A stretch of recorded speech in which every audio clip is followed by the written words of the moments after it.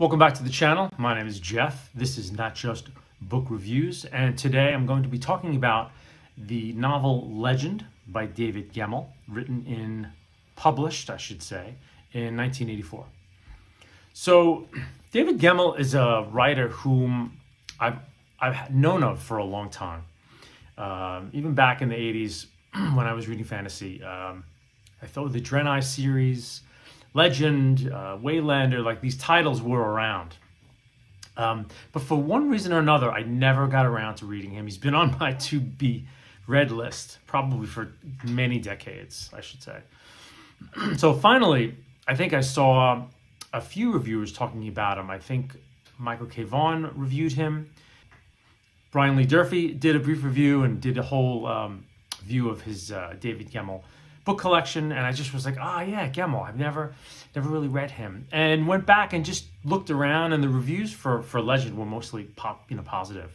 So I gave it a shot, and I was very surprised. I liked it. Um, I liked it a lot. So I'm going to talk into some detail about it. Uh, so I'm going to give basically the story setup. I'll try to do a spoiler-free, mostly review if I can. Uh, and I'll warn if I'm going to do some heavy duty spoilers. So I'm just going to read kind of the setup to the book. Um, there's the actual David Gemmell wiki, uh, which I got this from, which is actually really great because uh, his world of the Drenai, uh, I think there's like 12, 13 books uh, in the series now. It's a pretty realized world. Um, not you know through lined but more like a trilogy here two books there a book here but all in the same universe and different time periods. So um, this is kind of his Drenai world. I think he's got two or three other little mini universes that he's done a series on but anyway this is the the, the so this is the setup for the book. Um, the Nadir horde of Ulric the Uniter has conquered several northern nations and prepares for an invasion southward into Drenai territory with an army of half a million warriors. The fate of the Drenai Empire hangs on the defense of Dros Delnoch, a fortress guarding a mountain pass into Drenai lands. If the fortress can hold for three months, the Drenai army may be able to muster a force capable of repelling the Nadir invasion. But the Drenai army has dwindled during the reign of Lord Abalayn, and the Delnoch garrison has been reduced to less than 10,000 men under the leadership of Abalayn's incompetent nephew, Orrin. Delnar, the ailing Earl of Bronze, calls upon the aid of Druss the Legend, the titular legend, I should say. I love that word, titular. Um, calls on the aid of Druss the Legend, an aging hero coming out of retirement for one final battle and the 30, an order of warrior priests who serve the source, which is kind of the magic system in this world, by fighting to the death when summoned to a worthy cause. Okay, so that's basically the setup. Um, in a nutshell, to me, what makes this book really is character. This was uh, David Gemmell's first book. He was uh, a journalist before then, um, lives in England, obviously, but was a journalist for years. I think wrote a lot of this maybe 15 years or so before it was published, cobbled it together, and you know at some point I think he was very lukewarm on being a fantasy author. So he, I guess, he got the story to a certain point. He threw it at an editor. What do you think of this? And uh, the person was like, "Oh my God, let's clean this up. This is good. You should publish this." And so Legend became his first book. So, as a first author. I mean, I don't think he wrote any short stories that he published before this. He was writing pure journalism, I think, up until then. So, what's good about it is character. Uh, the characters in this book are terrific and kind of reminded me similarly of um, the Belgariad, not in, in tone and style. It's a very different book, but I kind of came out of the Belgariad like, it is what it is, but boy, the characters are a lot of fun to be with. And I'm kind of the same with Legend, where there's a lot of flaws the setup isn't entirely super original. A lot of what happens plot wise isn't over the moon. But you really hook into the characters, and by the end of the book, you're really invested. Um, and Gemmell's kind of a bit George R. R. Martin with his characters, pre-Martin actually. So uh, you know, not not all of them uh, stick around until the end of the book, which is refreshing, frankly. So, what I think makes the book work, uh, our character, there's a gritty realism that you wouldn't expect to find in books of the 80s or 90s in fantasy. Um, so that really works. Kind of sometimes it feels very much like historical fiction novel, you know, with the amount of research and the amount of kind of realism that, that it speaks to it sometimes. Um, so that really helps a lot. And what detracts from the book really is um, a bit of first time writer's clumsiness with putting the whole thing together. So I'll get into that a little bit as I go. Um, but I want to talk about, at the very beginning, I want to talk about the characters because they make, they're the soul and heart of this book. Um, and obviously, we should talk about the titular character, Druss the Legend. So, Druss is this classic, you know, greatest warrior of his age, coming out of retirement for one last battle, right? I mean, what, what more cliche could you possibly get? Um, and he's ripe for cliche, but from the outset, uh, he really is not. He's a really wonderful character, uh, a viewpoint character to follow around. Um, and what's great about Druss is his he's a mouthpiece for Gemmell, who I think has done an enormous amount of research, not just really about uh, medieval warfare, which he obviously has done, but I think he's done a lot of reading about men and war and some of the myths about war and some of the realities of war. And so Druss is kind of the old grizzled veteran, kind of laying it down for uh, a lot of younger characters who are like, oh my, you know, who are still into like full glory, looking for glory, thinking war is this wonderful thing. The wonderful paradox about Druss is that for all of his, uh, you know, realistic downplaying of like, yeah, it, it's not, you know, it's horrible and it's this and it's that, he's kind of compelled to be a warrior and to fight. So it makes for a very interesting clash, I think, which makes for a nice, well rounded character. Um, so I wanted to read a, a, quote from one part of the book that just, I, I think, sums up uh, Druss wonderfully. Basically, what, what's happening at the beginning is when Druss gets the call to come defend this, um, this keep, he kind of wanders through the countryside briefly trying to find allies. And he goes into taverns. Um, people recognize him, people don't recognize him, they mistake him. You know, he shows his prowess as a warrior, and he's basically a very noble character. So he's, he inspires the hell out of people, and he inspires a whole bunch of people to come with him to fight, which is this losing battle. Kind of, and this is the theme of this book: is that um, what is it like to be someone who's committed to fighting a losing battle? You know, they're, they're kind of doomed to lose this battle. Not just book reviews, brought to you by Yeti. They keep shit warm pretty long. Okay, anyway. Um, so he's going through the countryside, he's finding allies, and uh, as he's he has these speeches basically that he gives at times, which in, endear men to him, and it's mostly men. Let's frank, let's be fair, frank. So here's one of his uh, speeches when someone's asking him, you know, why, why, why bother? Quote, a man needs many things in his life to make it bearable. A good woman, sons and daughters, comradeship, warmth, food and shelter. But above all these things, he needs to be able to know that he is a man. And what is a man? He is someone who rises when life has knocked him down. He is someone who raises his fist to heaven when a storm has ruined his crop, and then plants again and again. A man remains unbroken by the savage twists of fate. That man may never win, but when he sees himself reflected, he can be proud of what he sees. For lo, he may be, in the scheme of things, peasant, serf, or dispossessed, but he is unconquerable. And what is death? An end to trouble, an end to strife and fear. I have fought in the many battles. I have seen many men die, and women too. In the main, they die proud. Bear this in mind as you decide your future. So, what a great, you know, it's great. It's just, it's he's a great, noble character.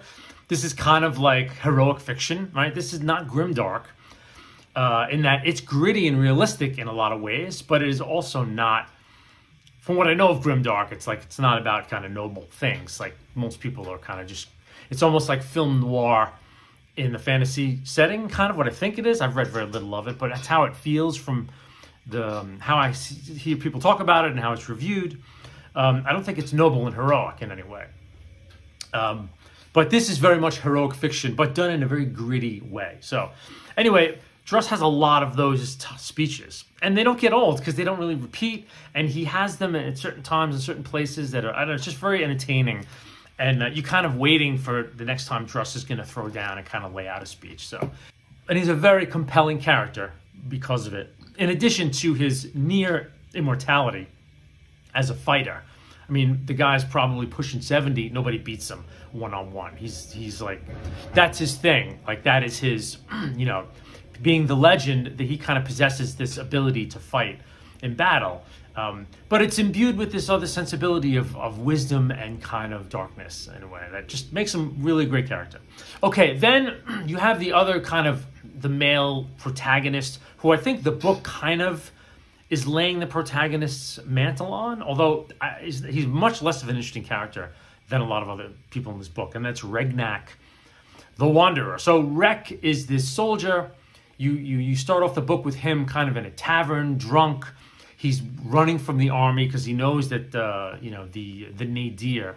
It's very funny that he names, you know, this is a young writer to name a horde like the nadir. You know, like the very lowest of the low is your enemy, right? Okay, got it, got it, Dave. Anyway, he's you know he's smart and he's like, screw this, man. They're gonna lose. I'm out of here. But on the way, he just some woman is being beset by bandits in uh, in the wilderness, and he steps in and saves her. And it turns out she is the earl of this keep, this Dros Delnoch, the same guy who asked Druss to come defend the keep. Uh, you know, asked her to kind of come as well, and uh, she's on her way there.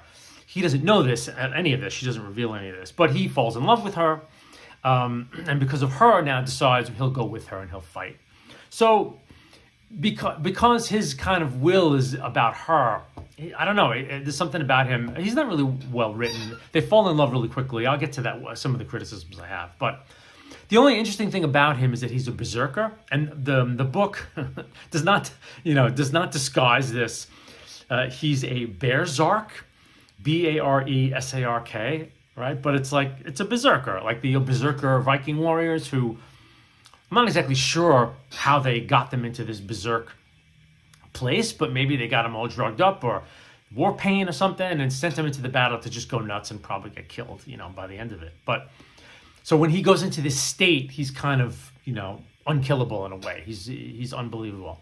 So he's kind of discovering this about himself. It's almost like he's a werewolf and he becomes this thing. But other than that, not a very interesting guy. Uh, Virae, the woman who he falls in love with, actually is a little more interesting than him, and she's a little more compelling. First of all, because she she has a want. Rek's kind of like, I'm in love with you. I'll do whatever you want to do. And later on, he's kind of a good warrior, so we kind of like him. But she's like, I know this is a lost cause because he's like, why are you going there? It's a lost cause. And she's like, because I have to go, and my father lives there, and I'm going to do this thing. So she's brave, actually. She has some charisma and bravery about her, so we kind of like her. Um, uh, then, of all the, of the other characters, when um, Druss gets there, the guy kind of running the place is called Gan Orrin, and Gan, G A N, is kind of uh, something they put in front of the name.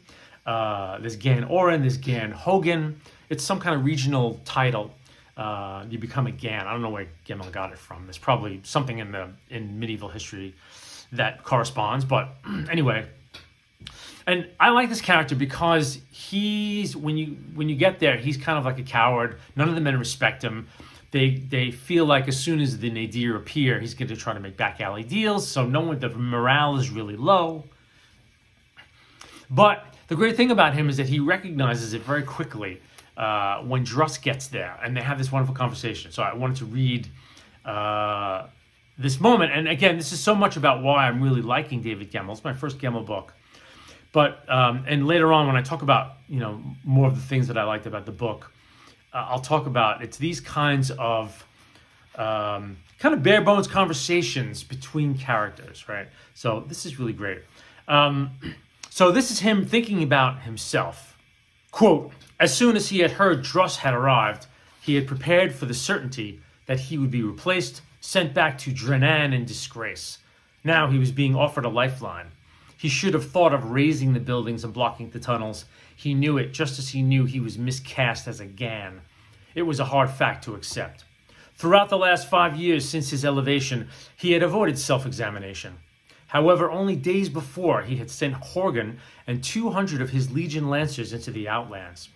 At first, he had held to the belief that it was a sensible military decision. But as the days had passed and no word came, he had agonized over his orders. It had little to do with strategy, but everything to do with jealousy. Hogun, he had realized with sick horror, was the best soldier in the Dros. When he had returned and told Orrin that his decision had proved a wise one, far from bolstering Orrin, it had finally opened his eyes to his own inadequacy. He had considered resigning, but could not face the disgrace. He had even contemplated suicide, but could not bear the thought of the dishonor it would bring to his uncle. All he could do was die on the first wall, and this he was prepared for. I have been a fool, Druss, he said at last. Enough of that talk, snapped the old man. Listen to me, you are the Gan. From this day on, no man will speak ill of you. What you fear, keep to yourself, and believe in me. Everyone makes mistakes, everyone fails at something. The Dros will hold, for I will be damned if I will let it fall. If I felt you were a coward, Orrin, I would have tied you to a horse and sent you packing. You have never been in a siege or led a troop into battle. Well, now you will do both and do it well, for I will be beside you. End quote. So there's this great moment of like, you know, in other books, you know, I feel like in other fantasy books to create drama, Gan Orrin would have like gone over to the enemy and they wouldn't have known it until the end, or Gan Orrin would have been like cunning and tried to undercut Druss because he was jealous. Like there would have been all this other stuff, which is great for drama. Like a lot of times when there's you know characters in books, as soon as you meet them, you kind of know what they're going to be like, and you recognize that for certain writers, it's easy drama um, to make certain characters certain things. And at this stage of the game, reading books in like you know the 21st century, it's also very boring and uninteresting when you come across characters who you just like, oh, okay, he's the spy. This is going to be the bad guy. This is the guy who's going to just be annoying until he gets killed and gets his comeuppance. This is the guy who, whatever. So I feel like Gemmell also from the outset was kind of upending conventions. Guys were talking about death and cowardice and having these conversations, which I really liked. The rest of the characters I won't go into too much. You have the Ulric, the, the, the main bad guy, who's on his way here with his horde. Basically, um, he is crafted upon uh, Genghis Khan uh, and the Mongol invasion, which basically, you know, almost conquered Europe, except for uh, a throne succession that happened back in Mongolia, which really stopped it. So you can tell right away that he kind of is, is, modeling that the uh, the nadir on the Mongols, which is fine. Druss comes upon some archers on the way to Dros, um, and uh, it's kind of goofy, but the he's kind of a Robin Hood character because he's out in the forest with a bunch of other outlaws and they're all archers. Like, hello, who would this be? And the guy's called Bowman. so it's like, really, Gemmell? What did you, did you completely give up? You know, like, what am I going to name this guy? He's a good archer. He's out in the country. I can't name him Robin Hood. Ah, Bowman. All right, that's good. So it's a little weird. Anyway, he picks them up. Um, and then there are a couple of characters who are kind of our Rosencrantz and Guildenstern as, as it were, are uh, kind of guys in the trenches uh, called Gilad and Bregan. And uh, he uses these as kind of voices from the guys on the front lines, and they're bickering. They're old friends, and they're bickering amongst each other. But you're getting kind of a, um, a bird's eye view of what it's like just to be. These guys were farmers drafted into the army, and what that experience is like, uh, which is he brings a lot of realism into it, which I which is great. So those are the main characters, um, and most of them are very interesting and fun to read. Uh, I really like them a lot. So overall, I would say a lot of the things I liked about this book. Um, a lot of frank conversations about being a legend, about being in war. Uh, again, I found it startling that this book was written in 1984 because the surrounding stuff was David Eddings and Shannara um, and you know other fantasies and um, uh, Spell Singer and Guy Gavriel Kay. You know, uh, and here's this fantasy that reads like it could be from the Hundred Years' War. Um, really, really gritty, um, which was great uh, at, the time. So really, kind of surprised and and he does it really well. Um, and there are these wonderful conversations between. Uh, there's a couple conversations between the main bad guy Ulric and Druss, when there, there are these lulls in the battle and they have these conversations, and they're, they're very frank. Uh, and there's a, a, situation where one of the warriors of the Drenai dies, um, and uh, they go to the funeral in the Nadir camp, and the guys fraternize a little bit. It kind of reminded me of uh, in World War One, that, one Christmas on the front lines when the two armies fraternized uh, over Christmas time because there had been a ceasefire forever, and both high commands freaked out and, and pulled them away. But like I, I'll never forget that. That's an amazing moment in, in like military history. But there's some of that in, in here, which I thought was really great. Uh, and I liked there's a, I guess double sided coin to this. Um, I like I, I'm a guy in my mid 50s. Like I like reading about noble characters. Like I can't take a, a horribly cliched story about just everyone's a noble character and blah blah blah. But I do like reading about people who have character and and who are noble and who will do the right thing, often will face death or embrace death, you know? Uh, and there's a lot of that in this book. A lot of the characters are very admirable people. So it's very enjoyable uh, to read about characters who like really want to do the right thing and they're willing to face death and so on and so forth. So I enjoyed that. Um, I think Gemmell's military research was sound, so he knows a lot about military tactics. So the things, all the things they have to do to prepare for the battle, like when Druss finally gets to the keep, he's like concerned about like training stretcher bearers, and you're like, whoa, like the ambulance corps, you know? So there are like those kind of really gritty details about how to prepare for a siege that are all over this book which again, it really sets the tone for the book and um, sets all of the fantastic elements in a bed of really nice realism. Strangely enough, it was very put downable for the first two thirds. Um, the book, and I would read a couple of chapters and I would be like, wow, this is a really good book. And I'm not really compelled to go further. and I would go and do my thing and come back and read another couple of chapters. I really like these characters. So I had this odd experience of reading Legend where I really enjoyed it and thought it was really well done um, for a for a first novel.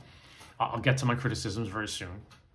And at the same time, until the last two thirds of the book, uh, because it's very simple, I guess, in that they all come to the keep and prepare for the siege. So you know, in these kinds of imaginative literatures, we're used to like we got to go here and get this thing, and then we go there, and then we discover this cavern, and then magic brings us here. There's usually more kind of geographical movement, right? The, the, characters do a lot more things, they go places.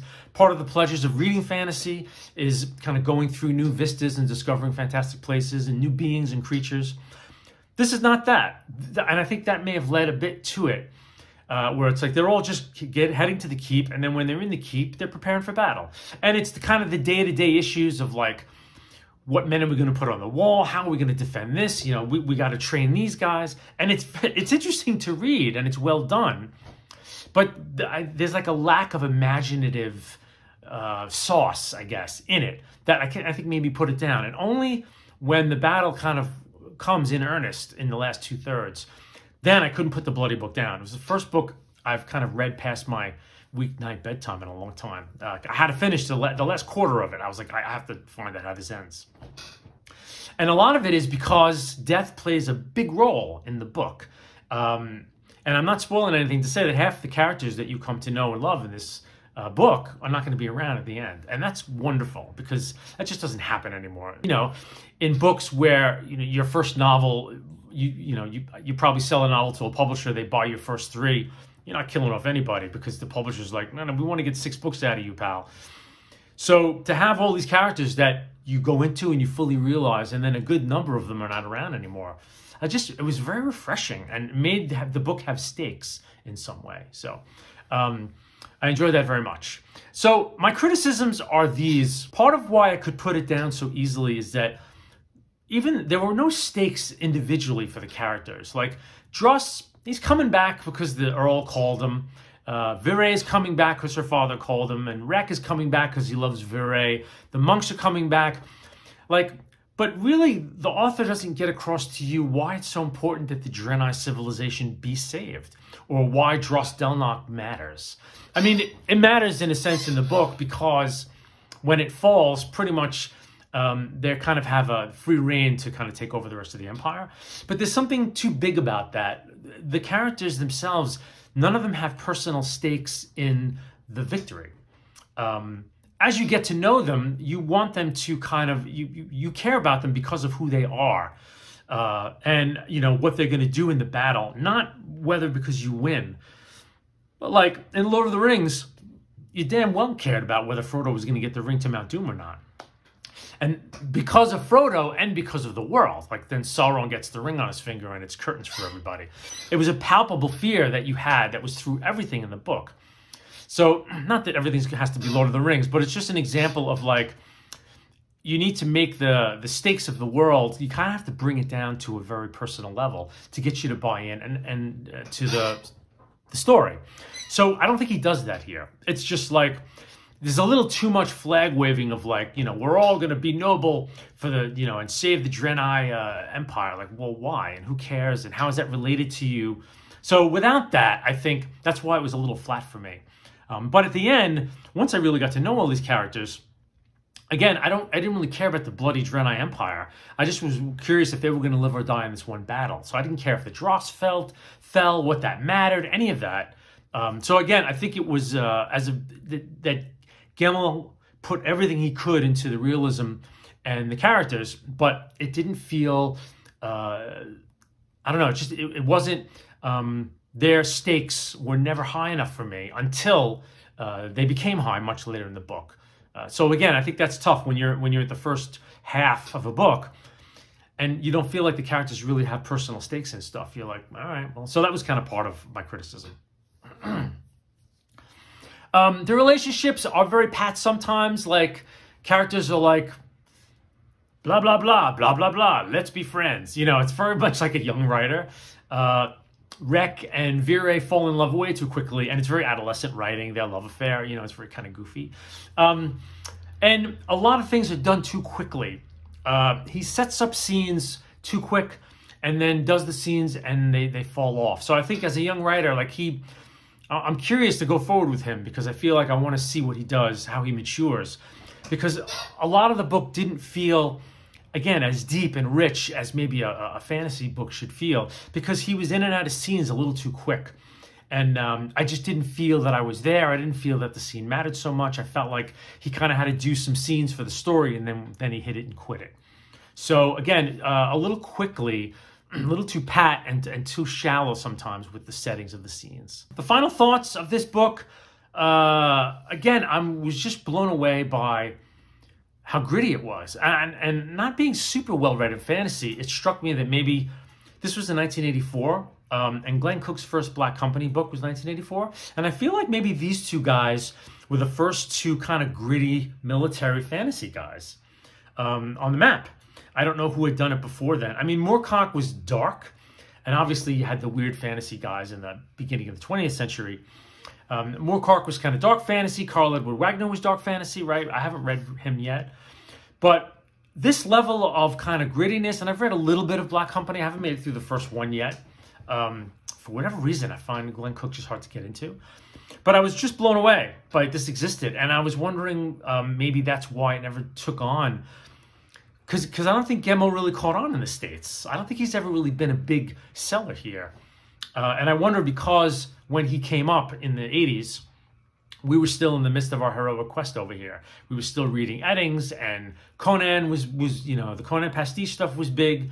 Uh, Jordan just started writing the Wheel of Time in the '90s, so like he was a little before his time. I feel like with with stuff. And I feel like the fantasy world has caught up with him at this point. But um, I was really really impressed with that. Um, and again, I, I think this book contains things that are still rare in the genre um, in a sense, which are people who know really about war and about you know the grittiness of medieval settings, and where you have real characters like the the, the two farmers who are in battles. Like it just you know they didn't do much with them, but it just it added some realism. Um, also, the uh, the real passion that he put into these characters and how they were not to type. Like even though lots of them had heroic and noble characters, they weren't cliches, which was amazing to be, be honest. I mean, maybe maybe some of them were kind of cliche-ish, but they didn't feel like cliches to me. And I mean, I've read in a fantasy where there's a cliche character. I'm like, okay, he's a cliche character. But I feel like he upended conventions, especially with Druss. I feel like he really upended the convention of, you know, this, the legend, this legendary warrior kind of character. Um, but yeah, and I mean, there was some, you know, he used modern words in there. there. There's some stuff in there that's like from a young writer which I think adulterates the book a little bit and brings it down to like a B plus. but there's so much to like in it, and I'm really looking forward to reading more in the Drenai series because I think he's got a lot of strengths as an author, and I'm curious as he gets better uh, and continues to write, like what he's going to be like going down the line. So, uh, yeah, so that's my thoughts on David Gemmell's Legend, and uh, looking forward to continuing. I think uh, The King Beyond the Gate is the next book in the series, so I'll probably pick that up at some point this year. Hopefully, come back and talk about it. So, um, thanks for watching, and I'll see you next time.